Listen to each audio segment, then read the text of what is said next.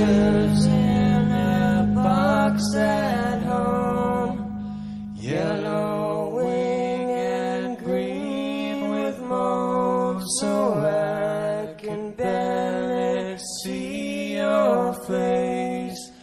Wonder.